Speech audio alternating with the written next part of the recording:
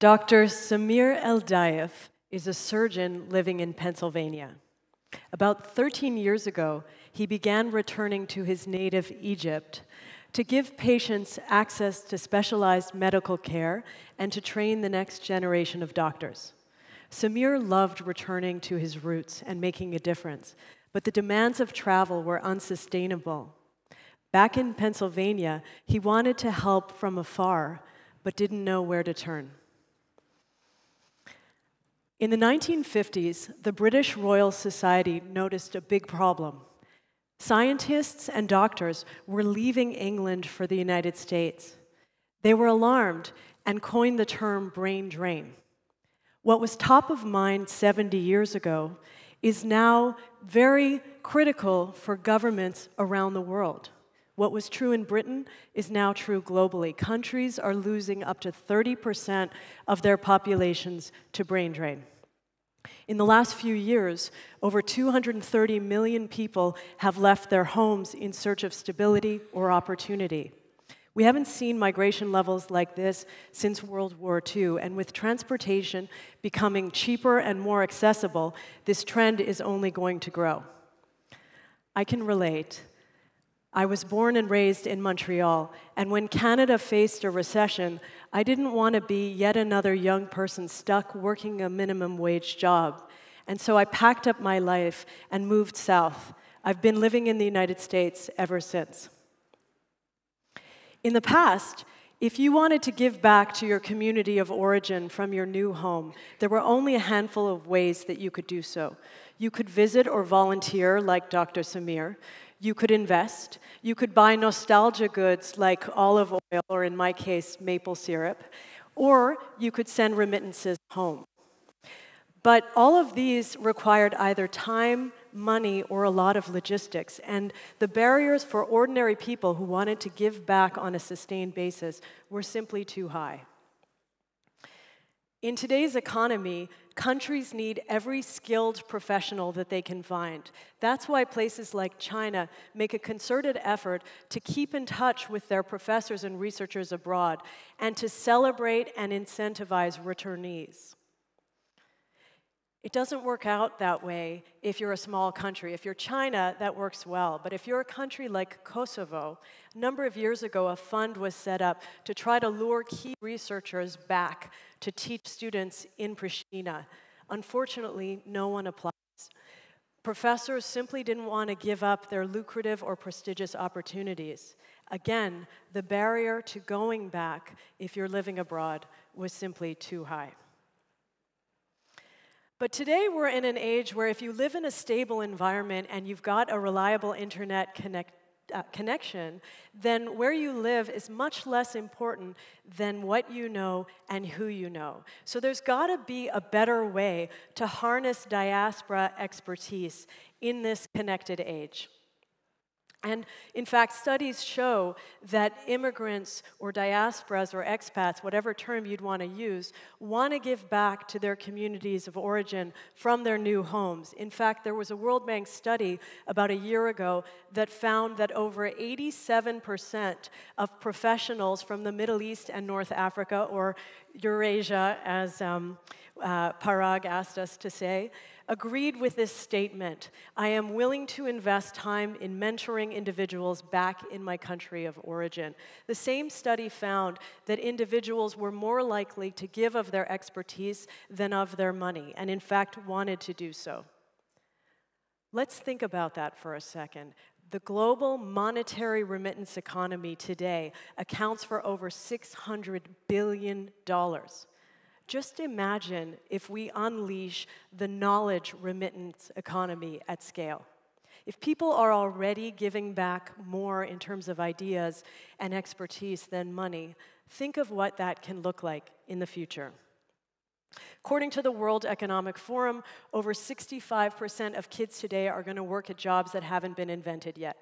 Now, we can't train people for jobs that don't yet exist, but we can future proof them by connecting them to people working in industries at the vanguard of change, like edtech, fintech, medtech, AI, robotics, and more.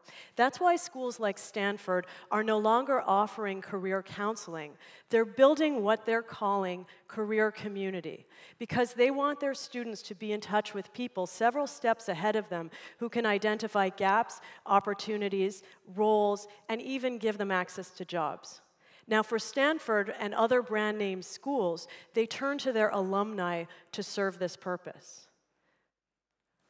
But what if, for the rest of the world, we use diasporas as that career community. The relationship between an alumni to their alma mater is emotional. It's about a caring community. Diasporas also exhibit that care and concern for the communities that they left behind. Maybe not everyone, but many. Now, efforts have already been made to try to connect diaspora communities to their home countries, but they've been made on a country by country basis. This is an economy of scale problem, even though countries like India or Moldova or Jordan are vastly different. The challenges they face in this regard are the same. And so by dealing it by dealing with it on a country by country basis, you're in silos. It's expensive, it's time consuming, and you're missing out on opportunities. So, for example, Fortune 500 companies are very diverse, they have multiple diasporas in their midst. Groups like Arabs at Spotify or Indians at Salesforce. If you take a holistic approach, you can engage those companies as well because they see it as an opportunity for their employees to get involved. We know that knowledge is now flowing in every direction. So, whereas before, if you engaged a diaspora in giving back to their home community, it was often because they felt good, they felt connected to their roots. But now there are actually self interested reasons why they would do this professionally. It gives you access to new markets, new insights, uh, a pipeline to talent, and frankly, exposure to new solutions. A Gallup poll in the United States recently found that in every industry, companies are expanding their distributed workforces. What that means is gone are the days of people being concentrated in headquarters and working in one spot.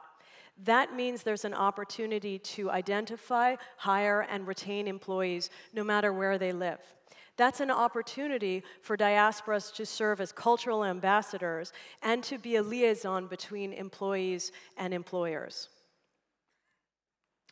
For the last couple of years, I've been working with people whose hearts are in two places. Here's some examples. Dara is a data scientist at Spotify, Mohammed Shadi is at Dell, and Iyad Yaqub, who used to work with Yamama here, um, was in Syria and then Stanford working on career services.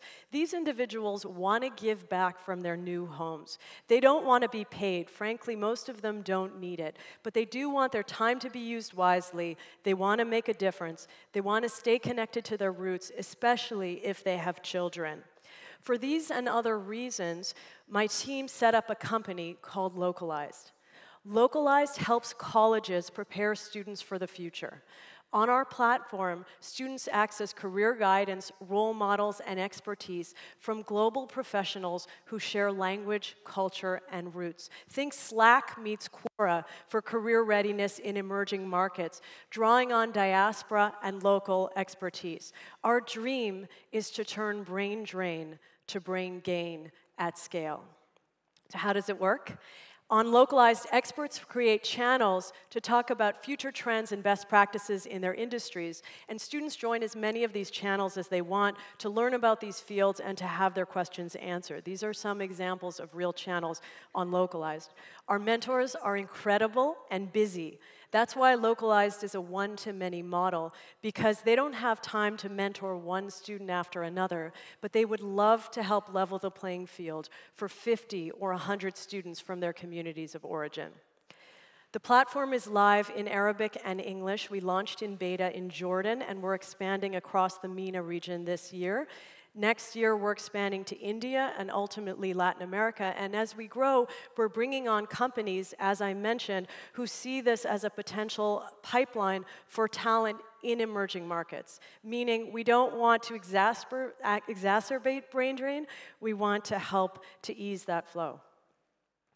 I don't want to pick on Kosovo, but I do think it's important to mention that they initiated a diaspora registry a couple of years ago. They wanted to keep in touch with their diasporas, and other governments are looking at it as a model. Now, over a quarter of a million people signed up, which is great, but they only asked three questions. They asked people for their names, their occupations, and their addresses.